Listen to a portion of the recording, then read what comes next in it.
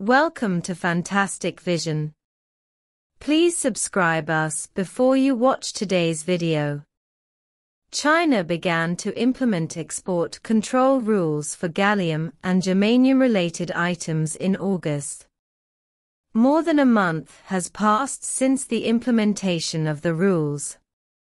Throughout August, it was not easy for the United States and other Western countries to obtain China's gallium and germanium. There is no news about the issuance of licenses in China. Even if foreign suppliers submit applications, it will take time to review and approve them. China has struck hard. Data shows that China's gallium and germanium exports fell to zero in August. U.S. media, Biden should stop. China's gallium and germanium exports to the United States dropped to zero. Gallium and germanium are semiconductor materials with high electron mobility and thermal conductivity, as well as high light absorption capacity and photoconductivity. These properties make gallium germanium widely used in infrared detectors, photoelectric conversion, lasers and other fields. China has certain advantages in the production and research and development of gallium and germanium materials. China has accumulated rich technical experience in long-term material research and development and production practices. It has also made significant progress in the production technology and quality control of gallium and germanium materials. With the rapid development of semiconductor and optoelectronic technology, the market demand for gallium and germanium materials continues to expand. More and more countries need to do business with China and import large amounts of gallium and germanium materials from China. However, it is not so easy for Western countries to purchase gallium and germanium from China. In early August this year, China implemented gallium and germanium export control rules for more than a month.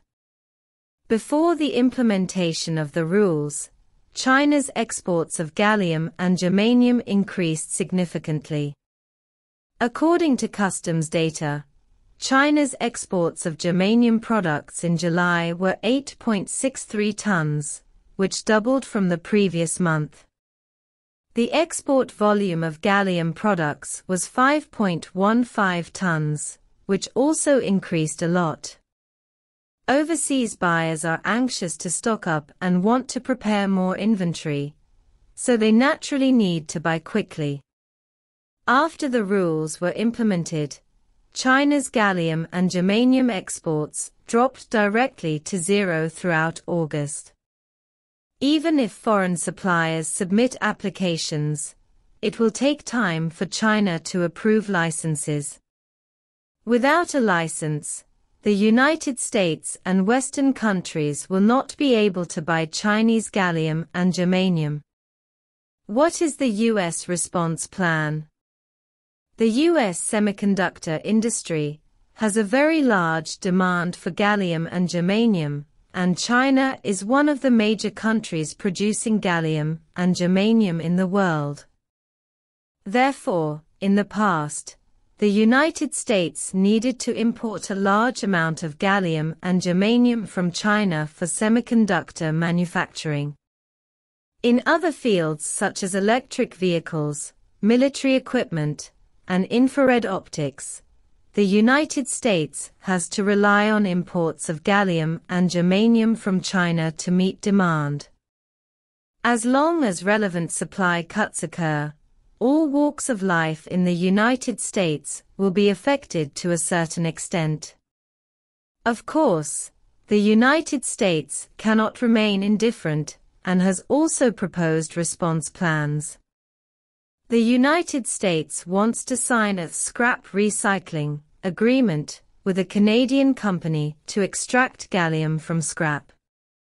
Since the United States has a certain inventory of germanium, it mainly deals with the crisis of insufficient gallium inventory. The question is, can America's waste recycling response work?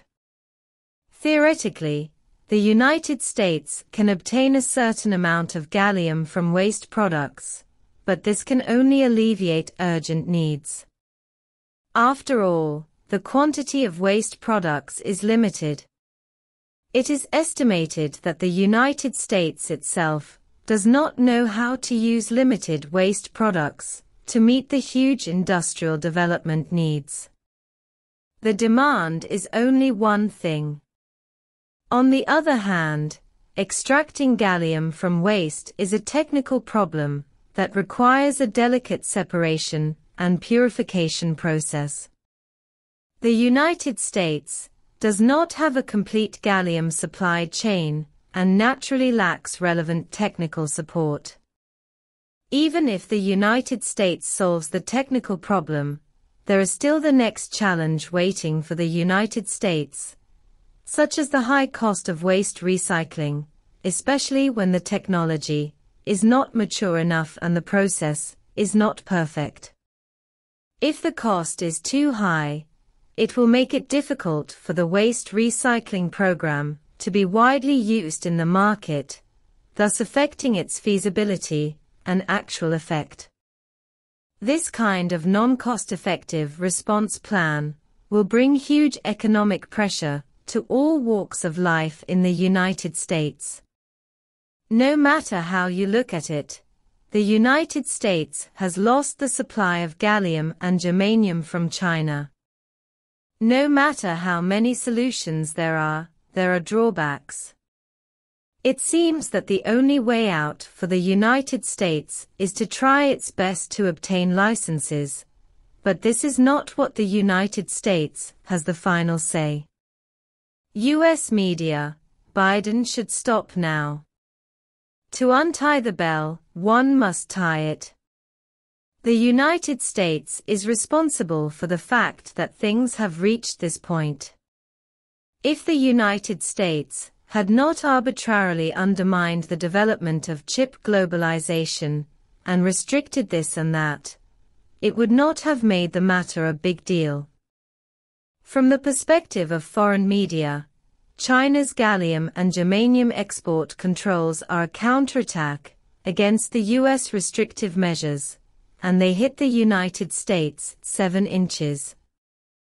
The United States relies on China's gallium and germanium imports.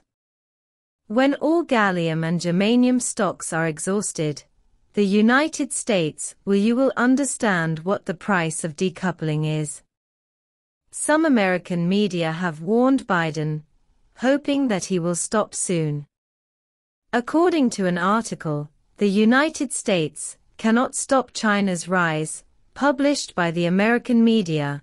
It was pointed out that the United States implementation of the export ban on chips and semiconductor equipment to China was to curb China's rapid development, which triggered China's counterattack in the field of key metals. The article also mentioned that many technologies restricted by the United States in the past have been broken through by China, such as satellite technology, geospatial technology, etc. Finally, the American media warned Biden to stop in time. Everyone knows the truth. There are rising voices from the American industry opposing U.S. restrictions.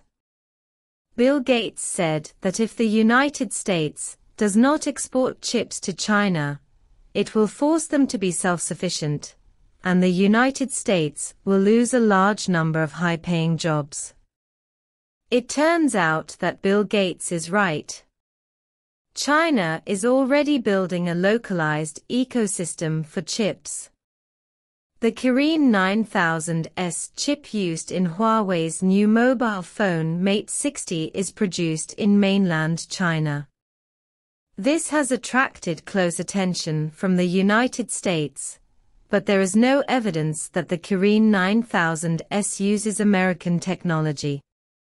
The United States should understand that restrictions will only speed up China's self-sufficiency, and China also has its own trump card. The United States is afraid that it will not be able to accept the export control of rare metals.